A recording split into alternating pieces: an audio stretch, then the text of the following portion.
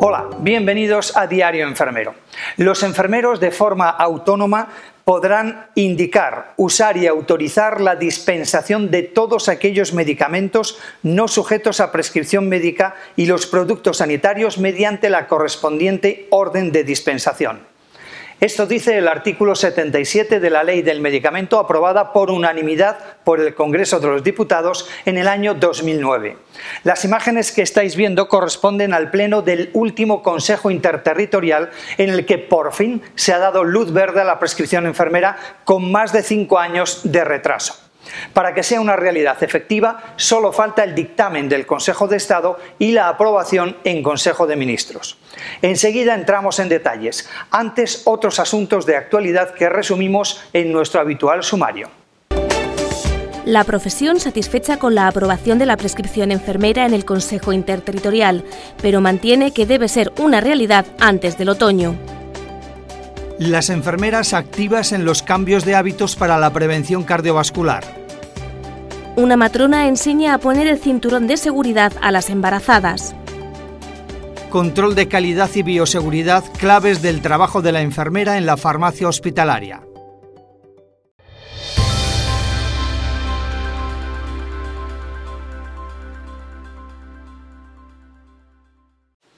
Empezamos con una noticia esperada desde hace más de cinco años por los profesionales enfermeros. Ana. Casi dos años ha estado guardado en un cajón el último borrador de Real Decreto de Prescripción Enfermera. Finalmente, el Pleno del Consejo Interterritorial del Sistema Nacional de Salud, en el que están representados el Ministerio de Sanidad y las comunidades autónomas, ha dado el visto bueno a un Real Decreto que otorga el respaldo legal que corresponde a muchas actuaciones habituales de los profesionales enfermeros. Realmente es que nosotros firmamos un acuerdo el mismo día y por tanto vamos a acelerar mucho con uno de los para ver si pueden llegar a la vez. Uno va más adelantado que otro. Ahora hay que tratar de espabilar uno de los dos para que lleguen pues en el mismo horizonte temporal más o menos porque los acuerdos los firmamos el mismo día. Sí, pero no. Sí a la aprobación, no al plazo. Así podría resumirse la situación planteada en la enfermería después del visto bueno que Ministerio y comunidades autónomas han dado a la prescripción enfermera en el último Consejo Interterritorial. Sí al esfuerzo de los consejeros de Sanidad por dar el visto bueno a la tramitación de un Real Decreto cuyo desarrollo era un mandato de la reforma de la Ley del Medicamento aprobada en el Congreso por unanimidad en 2009. Con este desarrollo reglamentario se cumple una previsión legal y además se hace normal en nuestras normas lo que ya es normal en la, en la vida diaria y es que se da cobertura legal a que los enfermeros pues, puedan indicar y puedan, y puedan autorizar la dispensación de medicamentos que no están sujetos a, prescripción, a receta, y también que puedan desarrollar pues, la labor de cuidado y de atención a los, a los pacientes que forma parte dentro de, que forma parte de sus obligaciones básicas. Y no a que vea la luz en otoño para correr en paralelo al decreto de unidades de gestión clínica que está empezando ahora su desarrollo. Así lo explicaba a primeros de marzo el presidente de los enfermeros españoles en la constitución del Foro de las Profesiones Sanitarias. Nada tiene que ver el decreto de unidad de gestión clínica con el decreto nuestro, son dos cosas completamente diferentes y cada una llevará la tramitación que tiene que llevar. Evidentemente uno ya tiene concluido todo su proceso administrativo y el otro tiene que comenzar ahora. Por tanto, insisto, salvo algo que haya cambiado en el compromiso del ministro, creo que deberá ir al próximo Consejo Interterritorial para que inmediatamente vaya a Consejo de Estado su aprobación al Consejo de Ministros. Superado el trámite del Consejo Interterritorial, el proyecto de Real Decreto de Prescripción Enfermera pasará de inmediato al Consejo de Estado y tras su dictamen estaría listo para ser aprobado en Consejo de Ministros. Validación de botiquines, elaboración de fármacos citostáticos, nutriciones centrales personalizadas. Estas son tareas cotidianas que realizan los enfermeros de las farmacias hospitalarias y que muchos desconocen. El programa En Primera Línea, que ya podéis ver íntegro aquí en Canal Enfermero, nos muestra cómo es el día a día de las enfermeras de farmacia contado en primera persona. Realmente la gente cuando llega aquí nueva piensa que eh, te vas a sentar en una silla a dar pastillas a un paciente y no vas a hacer nada más. Y realmente cuando entras en este mundo y ves todo lo que está montado dentro de la farmacia, te das cuenta que la enfermera aquí y la auxiliar tienen un papel muy importante. Nos dedicamos sobre todo al tema de elaboraciones de nutriciones parenterales, de fármacos citotóxicos y citostáticos y de toda la preparación de medicación no incluida dentro de la guía del hospital y a su vez la validación de botiquines de todas las plantas del Hospital Gregorio Marañón.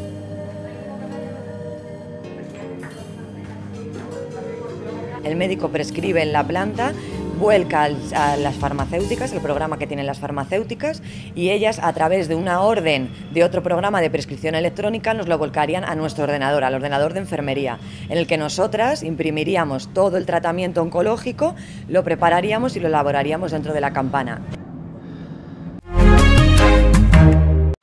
Las enfermeras contribuyen a prevenir las enfermedades cardiovasculares y lo hacen desde los centros de salud preguntando a los pacientes por sus hábitos y motivándoles a llevar una vida más saludable. Una tarea fundamental para un país donde las enfermedades del sistema circulatorio siguen siendo la primera causa de muerte.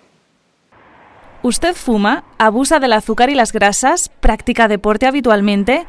Con las respuestas a estas y otras preguntas, las enfermeras pueden calcular el riesgo que una persona tiene de padecer un infarto en los próximos años. Lo que hacemos es, eh, a la población que está entre 40 y 65 años, le calculamos su riesgo cardiovascular, preguntarles si fuman, eh, tomarles la tensión y mirar sus cifras de colesterol.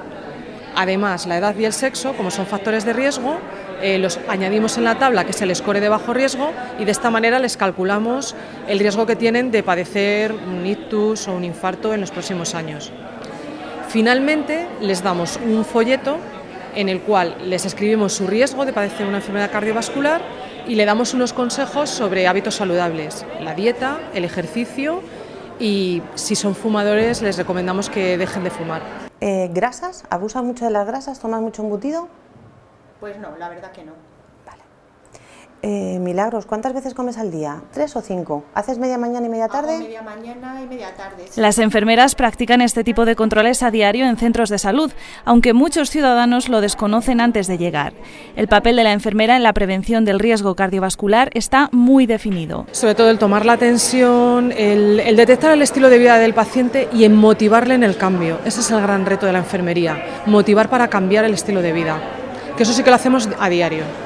Eh, motivando a los pacientes para dejar de fumar, para que hagan una dieta más saludable y además hacemos un seguimiento en las consultas, les vamos citando. Un trabajo que da sus frutos. Los mensajes de las enfermeras calan en los pacientes. Yo hago dos días en semana eh, clase de mantenimiento, alternando fitness. Eh, o sea, hacemos distintas formas de, mantenimiento. Tampoco fumo, eh, beber tampoco consumo alcohol, y luego, bueno, pues mi, mi trabajo también es un trabajo que requiere de ejercicio físico, porque trabajo cuatro horas, pero corriendo y de forma, o sea, que, que, estoy no sedentaria, no estoy sentada. Sanidad recuerda que está demostrado que la mayoría de enfermedades cardiovasculares podrían prevenirse con un estilo de vida saludable.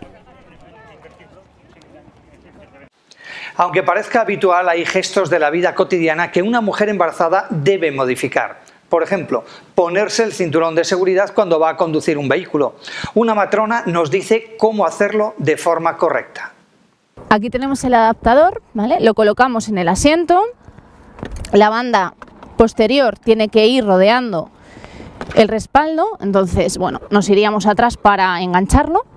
Importante que quede bien fijo. La mujer se sentaría sobre, sobre el cojín ya, ya colocado. Raquel se va a colocar el cinturón de seguridad, se lo, se lo va a colocar normalmente, como haríamos cualquiera, ¿vale? Sin el adaptador vemos que la cinta inferior aprieta el abdomen. Y de lo que se trata es de que esta cinta quede a la altura pélvica, ¿vale? Cogeríamos cada uno de los puntos para bajarlo. ¿Bajarlo para qué? Para que quede justo a nivel pélvico. La cinta superior debe estar atravesando el pecho no debe quedar ni muy cerca de tu cuello para que no te moleste, ni tampoco lejos. Esta es la colocación correcta del adaptador para el cinturón de seguridad de las embarazadas, un dispositivo imprescindible para proteger la vida de la madre y del feto en la carretera. La mayoría de mujeres conoce los sistemas de retención para los recién nacidos que montan en el coche, pero ignoran que la prevención debe comenzar desde el periodo gestacional. Se deben utilizar desde el principio. Eh, en el primer trimestre el riesgo es la pérdida por aborto, y en el último trimestre el riesgo del traumatismo es rotura de bolsa, el, riesgo potencial es eh, traumatismo abdominal. Las matronas tienen un papel fundamental a la hora de concienciar a las embarazadas sobre la necesidad de utilizar estos dispositivos, tanto si conducen como si van de acompañantes. En la primera consulta del embarazo se da mucha información a la mujer, tanto de sus cuidados como eh, información a todos los niveles. Y es en ese momento donde creemos que ya desde el principio, en la primera visita, séptima, octava semana, debemos hacer mucho hincapié en, los sistemas de retención. El uso de este adaptador reduce a la mitad el riesgo de muerte fetal y materna en caso de sufrir un accidente de tráfico. En contra de lo que pudiéramos creer, el dolor crónico no es el síntoma más invalidante para las personas que sufren fibromialgia, Ana. Cierto, así al menos se desprende de los últimos estudios en los que se demuestra cómo el deterioro cognitivo está íntimamente ligado no solo a una manifestación física del dolor de quienes sufren fibromialgia, sino también a su percepción emocional. Bueno, pues esto es la parafina, lo hacemos porque padecemos de la nodulación del túnel carpiano Ah, que quema un poco. Que lo metemos tres veces. Metemos una bolsita. Lo ponemos con una toallita y estamos 10 minutos. Y nos alivia algo, pues los dolores que tenemos en, en los dedos, en las manos. Se nos duerme mucho las manos también. Tenemos hormiguillos. Y bueno, esto es lo que hacemos. Aunque sabemos que el síntoma principal de la fibromialgia es el dolor, un reciente estudio realizado por especialistas de la Universidad Rey Juan Carlos subraya que hay otros síntomas que provocan incluso una mayor dificultad para realizar las actividades diarias a quienes padecen esta patología. Tienen problemas de memoria, problemas de atención, problemas de concentración.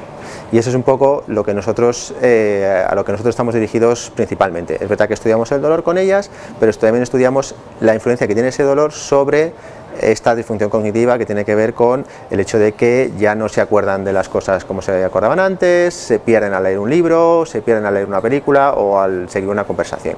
Entonces lo que hemos visto es que cuando la, tarea cognitiva, es decir, pues de memoria o atención o de concentración se complica, es cuando ellas eh, fallan, lo hacen eh, significativamente peor que personas de su misma edad, de su misma educación, que no tienen la patología. Muchas veces dicen que si es que tenemos, estamos deprimidas y por eso nos viene la fibromialgia, no es así, es al revés, que al ver un mundo incierto, un futuro que no sabemos cómo va a ocurrir, cómo vamos a terminar, pues ¿qué nos pasa? Pues que nos encontramos eh, mal y, nos hundimos. Pues sí que sé de personas que sí que, que, también tienen depresión, no en mi caso, porque yo la verdad que mi familia sí que me ha apoyado mucho, pero sí que es verdad que hay gente que se sienten incomprendidos porque no te creen, porque como es un diagnóstico complicado, pues incluso te rechaza tu propia familia, ¿no? Entonces sí que moralmente te mina también, claro.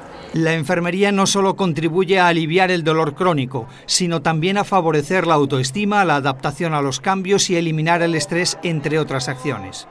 Parece que lo que mejor funciona es eh, tratamientos psicológicos o terapias psicológicas, o bien dirigidas a ese, a ese estrés, a paliar ese estrés, o, los pensamientos asociados a esa situación de estrés, pero eh, ayuda mucho también, y se ha visto recientemente, el tratamiento desde la fisioterapia, eh, y bueno, pues esta nueva aportación que nosotros hacemos relacionada con eh, desde la psicología, pero mm, tratando esos síntomas cognitivos. La combinación del trabajo de enfermería junto con el de fisioterapia entre los afectados de fibromialgia contribuye a la mejora de la calidad de vida, tanto física como emocional. Yo muchas veces digo que hay que tener siempre mirar en positivo y no encerrarnos en casa, que es lo peor que podemos hacer.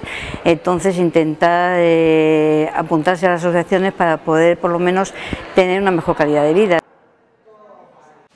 La comunicación es una de las asignaturas pendientes de las profesiones sanitarias.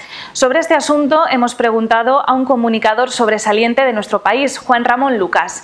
Según su experiencia y por lo vivido durante la enfermedad de su compañera sentimental, Sandra Ibarra, las enfermeras y enfermeros estáis en mejor posición que los médicos. Así nos lo cuenta en nuestro programa Entrevista con, que ya podéis ver aquí en Canal Enfermero. Por la cercanía a la que obliga eh, tu profesión, pues los enfermeros y las enfermeras lo tienen más, eh, eh, más pulido eso. Los médicos no. Pero eh, sí, eso es una pregunta, porque al final tú me estás haciendo una entrevista, pero si yo tengo una enfermedad y tú eres mi médico y necesitas... Hay, hay, datos que no te los puede dar un, análisis clínico o tal, que te los, te los tengo que dar yo. Y eso mm, es verdad, yo creo que a lo mejor en la profesión médica es una asignatura pendiente. Eh, y también en la, en la, enfermería. Lo que pasa es que eh, la enfermería, como está más cerca, como está más en el día a día, como está las 24 horas, bueno, el, médico te va a ver 5 minutos. Eh, algunos incluso más, y, con esto no voy contra los médicos, simplemente es una realidad que es así.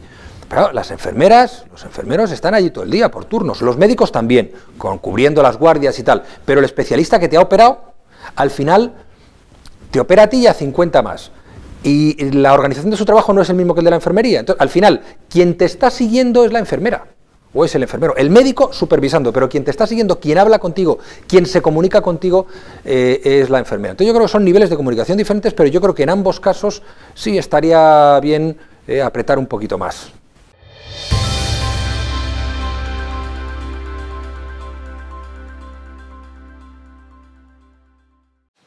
Así llegamos al final de esta edición de Diario Enfermero. Ya sabéis que seguimos en contacto a través de nuestra web consejogeneralenfermería.org y también a través de Canal Enfermero en YouTube y de la plataforma digital infoenfermería.com. Os dejamos con unas imágenes muy especiales. Son las fotografías ganadoras del mes de marzo del primer concurso de fotos del Consejo General de Enfermería. Si queréis participar podéis hacerlo a través de la dirección de correo que tenéis en pantalla. Gracias por estar ahí. Hasta pronto.